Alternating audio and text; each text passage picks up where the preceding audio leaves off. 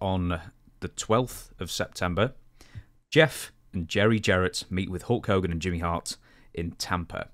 Now, it's a four hour meeting to negotiate Hulk Hogan coming into TNA. Now, you were in the company at the time, I'm sure you'll remember there was a big video where I think Hulk Hogan was in Japan doing some new uh, for New Japan.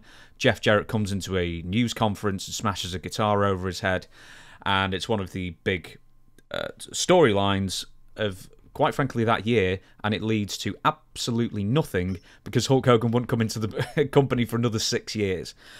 Uh, so, uh, in the early days of late 2003, 2004, what do you know of Hulk Hogan's potentially coming into TNA at this time?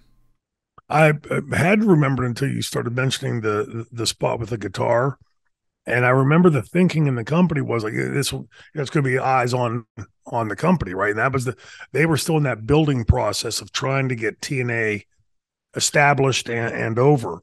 Um, and, and I think the mindset was like, hey, this will be good for us in the sense that eyeballs will be looking at it.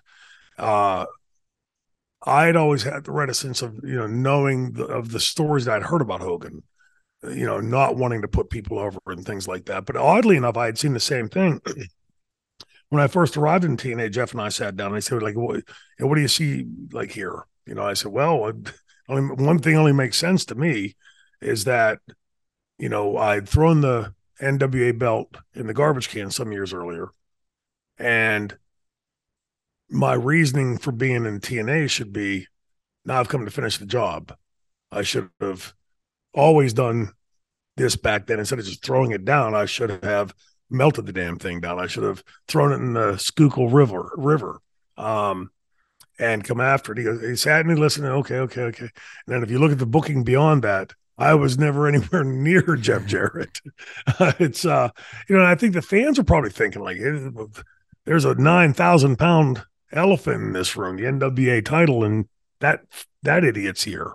Um, so you know, there, there's there was a lot of that that goes on in wrestling, and a lot of guys have very sensitive egos in the business. You know, I'm always well aware that when I win or I lose, I'm not really winning or losing. It, this is somebody else's call. And so I was always a bit like almost like cringy, you know, like, uh, like, oh, really? You don't want to do Come on. Like, this is, this is what we do. Right. And, uh, but there's a lot of it.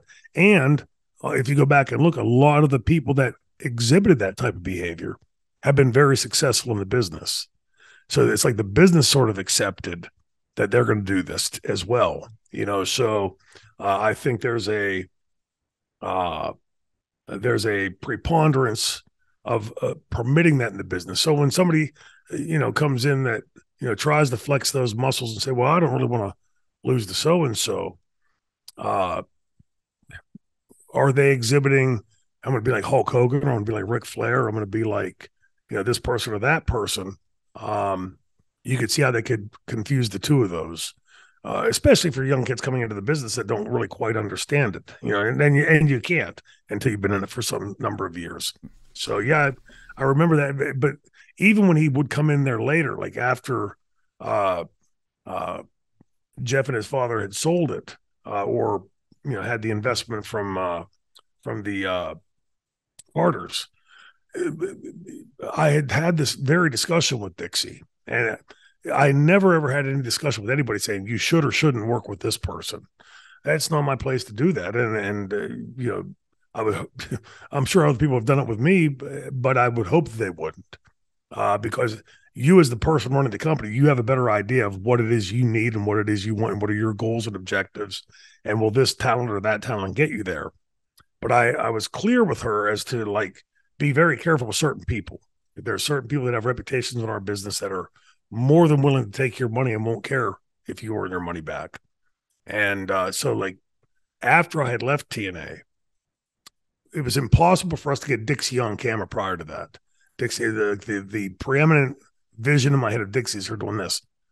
I'm management, not on air talent, finger and face. Um, so later, when I turned on and I see her, you know, standing next to Hogan doing the crab or getting power bombed through the table by three uh, by uh, uh, Bubba and Devon. Uh, I thought, well, somebody's been smitten by the bug. mm. you know, somebody that didn't want to before finally found that camera. Um, but you know, it was at that moment, just coming in, there was a lot of thought that this is going to get. Uh, I mean, let's face it, Hogan at that time was a big name, and uh, you know that was going to put a lot of eyeballs on us.